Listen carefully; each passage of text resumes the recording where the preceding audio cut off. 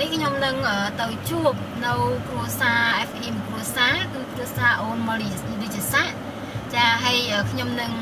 នៅពេលដែលទៅដល់ខ្ញុំនឹងបង្ហាញពីភាពល្អប្រសើររបស់គ្រួសារនឹងចាគ្រួសារនេះគឺខ្ញុំសូមប្រាប់ថាគ្រួសារនេះចាប់ផ្ដើមនៅក្នុងឆ្នាំ2013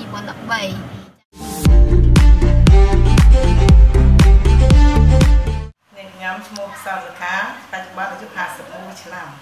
ជំរាបសួរខ្ញុំឈ្មោះអូនឈឿន បច្ចុប្បន្នអាយុ52រស់នៅភូមិដីឡូឃុំតាក្លាក្រុងសរីសុភ័ណ្ឌខេត្តបន្ទាយមានជ័យខ្ញុំមានកូន5នាក់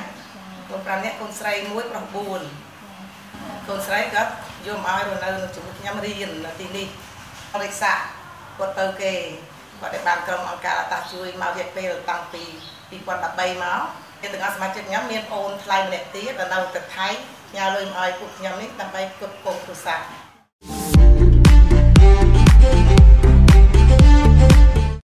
ទី1បាយជាផ្ទះក៏តូចលិចមុខលិចក្រោយទីជំរកអាមុខបរស៊ីយើងក៏មិនមានតែជាការធំដុំហើយកូនយើងក៏ច្រើនទៀតនៅតូចតូចទៀតអញ្ចឹងយើងនឹងការលំបាកខ្លាំងមែនទែ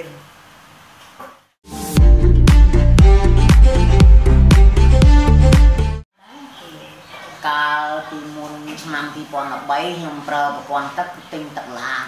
ហើយនឹងទឹកដងតែប្រើស្នប់ដៃប្រើយើងសពកម្លាំង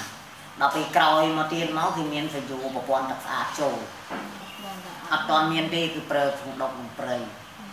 គឺកាលពីចំនួនមុន2013អមុនអន្តរជួយចំណាក់សម័យនោះគឺអត់ទាន់មានទេមកទល់នឹងបច្ចុប្បន្ននេះបើថាសម្រាប់ដូចសាប៊ូឬក៏សាប៊ូអីខ្ញុំអត់បានដឹងទេបើថាបើថា កម្មផ្នែកប្រព័ន្ធផ្នែកប្រព័ន្ធទឹកប្រព័ន្ធអីអានឹងមិនដឹងថាប្រើគ្រប់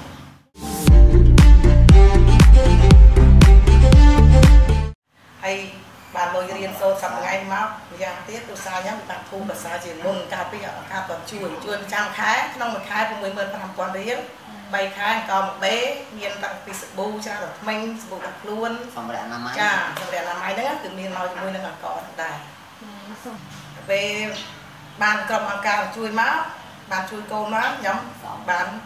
ជីវិតប្រសើរបន្តិចភាសាអីបាន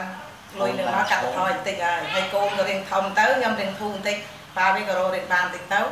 យើងក៏បានជីវិតពីគ្រាន់ជាមុនជាបន្តិចទៅណាតាមថាក្រុមខាងការតាជួយកូននឹងមកខ្ញុំបានកាត់ថាកូនម្នាក់នេះគឺយើងមិនបានសម្រាប់ជួយលុយក៏រៀនទេក៏មានលុយជូនគាត់អញ្ចឹងយើងនៅជួយតែកូនប្រហែលនោះទេអញ្ចឹងរៀនធូរជាងមុនតាមធូរជាងមុនបើយើងព្រៀបធៀ តងនៅថាការសន្សំប្រាក់ការធ្វើផ្ទះនេះខ្ញុំមានការសន្សំតាំងពីយូរឆ្នាំដែរទៅជាង10ឆ្នាំតែយើងសន្សំមិនបានច្រើនទេទុកតែរកបានតិចតួចយើងឆ្លៀតសំថ្ងៃតិចថ្ងៃតិចទៅតបមកក៏យើងឆ្លៀតទិញជាមេកូវ៉ាមួយចឹងទៅយើងគេថាសំខាងទៀតមកសំខាងទៀតមេកូនោះវាកាន់តែធំទៅវាកាន់តែមានកូននេះចាំវាបែកទៅការជាគូដល់7 8 10ក្បាលអញ្ចឹងទៅណា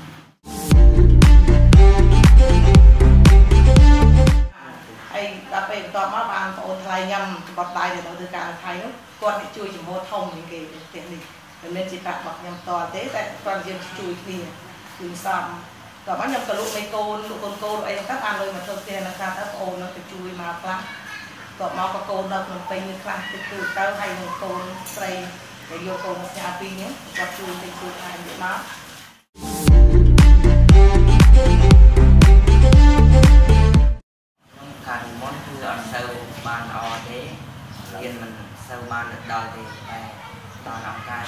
ការជួយខ្ញុំអាចរៀនបានដល់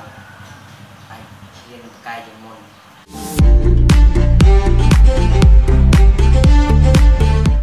ខ្ញុំយល់ថាការសិក្សានេះវាសារៈសំខាន់ខ្លាំងមែនបើសិនឧទាហរណ៍ថាខ្ញុំមិនជំរុញឲ្យកូនរៀនអនាគតមិនបាច់ថាកូនជួយយើងទេសូម្បីតែជួយខ្លួនវាមិនបានផងពេលដែលខ្ញុំឲ្យកូនរៀនត្រូវតែជំរុញឲ្យរៀនសុខចិត្តក្រសុខចិត្តក្រអត់មានផ្ទះនៅផ្ទះទូចមុនហ្នឹងកុំ ទូចលិចលើលិចក្រមិនអញ្ចឹងខ្ញុំឲ្យកូនរៀនដោយសារអីខ្ញុំយល់ថាសារៈសំខាន់វានេះគឺកាលណាអនាគតទៅវាចេះដឹងវាមិនចេះវាមិនត្រឹមជួយយើងបានទេវាជួយខ្លួនវាហើយវាជួយដល់យើងកាលណាវាចេះដឹងហើយសំបីតែអ្នកដតីឌីលតេះយ៉ាងណាគូវាអត់ធ្មត់បានបើសិនតែកូននេះចេះមិនចេះគឺគាត់ល្ងង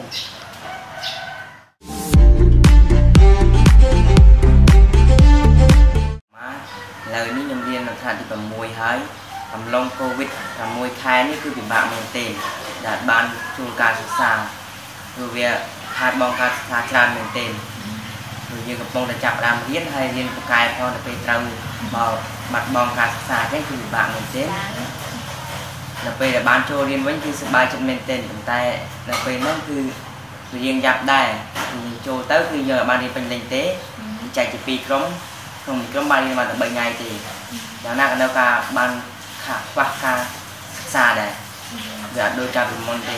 លោកកូវីដនេះគឺយ៉ាប់មែនប៉ុន្តែ